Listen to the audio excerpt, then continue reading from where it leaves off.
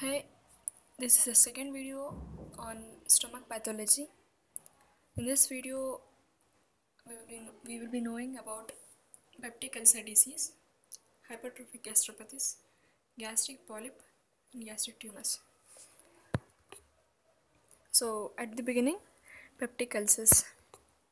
Peptic ulcers, by definition, means chronic mucosal ulceration affecting the duodenum or stomach either duodenum or stomach, together called as peptic ulcer disease.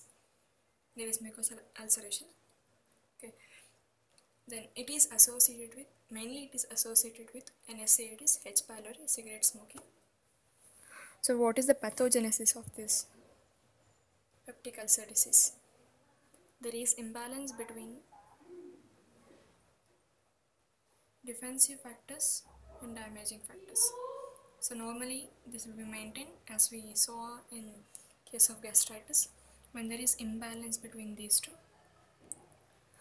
When damaging factors are more than defensive factors, it leads to chronic gastritis.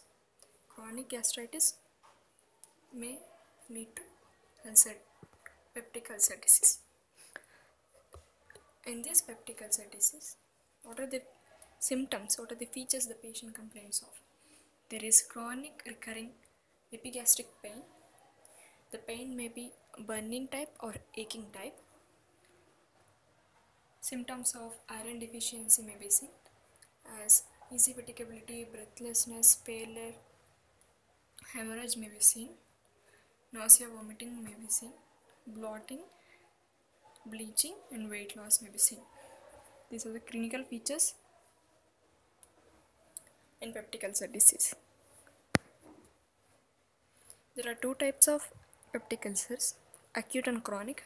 You may say that when you say peptic ulcer, it is chronic. Why there is a difference then again acute and chronic? Acute means it occurs mainly in stomach. Chronic, both gastric and duodenal ulcers. Acute is actually stress type of ulcers. Okay. It is mainly commonly seen in stomach. Etiology is due to physiological stress psychological stress. Physiological stress is due to shock, severe trauma, burns, drugs, and irritants. Mm, the ulcers caused by burns are known as curling ulcers. Curling ulcers, okay. And there is something called as Cushing ulcers. It is due to intracranial lesions. There is increased st- stimulation of vagal nerves in those conditions and you see hypergastric conditions in such lesions. So pathogenesis in, of this acute peptic ulcer due to stress as a cushing and curling ulcers. Ischemia due to ischemia there is ulceration. Why there is ischemia? There may be systemic hypotension or stress induced splanchnic vasoconstriction. That is spleen vessels vasoconstricted or there may be release of vasoconstrictors like endothelin 1 or maybe due to systemic acidosis or some because of some intracranial lesions you may have this ulcers. And also there is depletion of gastric mucosal barrier rendering mucosa susceptible to the attack of acids okay and you have chronic peptic ulcer actually this acute peptic ulcer morphologically they are multiple in number but they are less than 1 centimeter in length. They do not invade muscular layer. There may be some inflammation and they heal completely. Complications uh, may be hemorrhages and perforations. And second type of peptic ulcer is chronic it is gastric and duodenal both gastric and duodenal ulcers. Okay incidence it is frequent in mid- middle-aged adults common in males. And bear in mind that duodenal ulcers are four times more common than gastric ulcers. Etiology what is the cause of this? Immediate cause is disturbance i defensive and uh, damaging factors. There is imbalance they may uh, it may be due to H. pylori or NSAIDs. H. pylori mainly antrum in the antrum you see the ulcers and in NSAIDs induced mucosal injury there is direct toxicity endothelial damage and epithelial injury to both gastric as well as duodenal mucosa there is increased acid and pepsin secretion. Whenever there is gastritis they may end up in ulcers. And due to other local irritants or due to dietary factors due to psychological stress anxiety fatigue you may have they may predispose to peptic ulcer and genetic diseases. Blood group O appear to have appear to be more prone to this ulcers. Hormonal. There may be elaboration of gastrin like abnormal gastrin may be seen which leads to uh, gastritis and ulcer.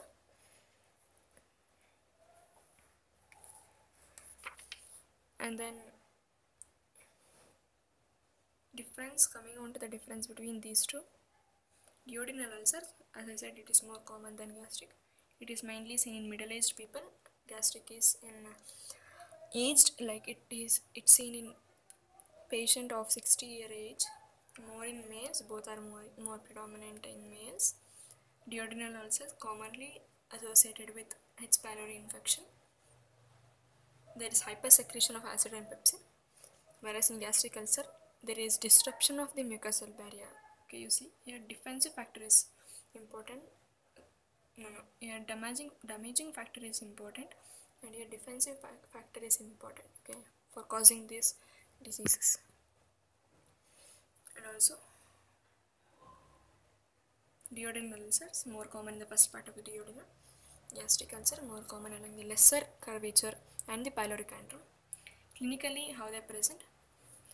There is food pain relief pattern like there is pain when you take food the pain decreases in duodenal ulcers. But in gastric ulcers when you take food there is increased pain. That is food pain pattern. This is pain food pattern.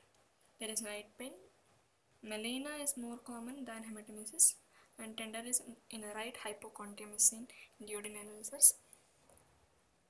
Whereas in uh, gastric ulcers there is no night pain. Hematemesis is more common than melena. Significant weight loss is seen. Deep tenderness in the middle epigastrium is seen here right hypochondrium. Here middle midline epigastrium. Pain is deep tenderness. Is seen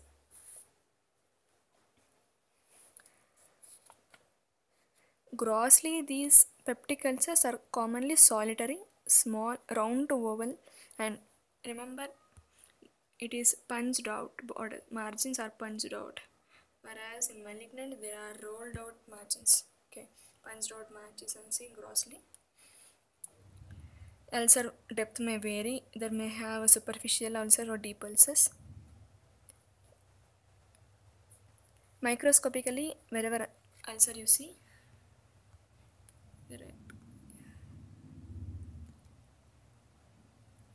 any ulcers there are four layers in the histology necrotic zone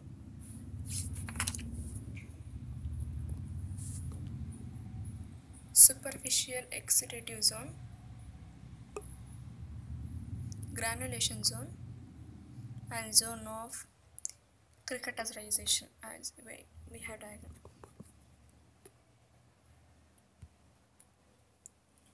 necrotic zone superficial exudative zone granulation zone and zone of cicat- cicatrization necrosis is there in the top. Then you have uh, exudate. Yeah granulation means there is growth of new vessels. Cicatrization you have fibrosis. Okay. There are four layers of ulcer histologically. What complications you may end up in having peptic ulcers are there may be bleeding. Mainly bleeding is due to gas if it is gastric peptic ulcer gastric ulcer the artery to be blamed is left gastric artery if that is duodenal then gastroduodenal artery. Gastric right left no. Left gastric artery gastroduodenal artery to be blamed. And it is the most frequent complications to be seen. Due to bleeding there may be iron deficiency or coffee ground vomitus is seen melena may be present. In the perfor another complication is perforation. Perforation it is the main cause of death due to ulcers. When you take an x-ray of such patients you find air under diaphragm. Perforation there is air under diaphragm you see. If there is perforation okay. Another complication is obstruction. Obstruction it, it is secondary to scar when they heal. So maybe first indication of ulcer. Hourglass deformity you know hourglass. Scar is there. So hourglass deformity it's described as hourglass deformity. Okay. There may be some other types of peptic ulcers i said. Curling ulcer due to burns and cushing's due to intracranial disease so this is about peptic ulcers. In the next video we will know about hypertrophic gastropathies gastric polyps and gastric tumors thank you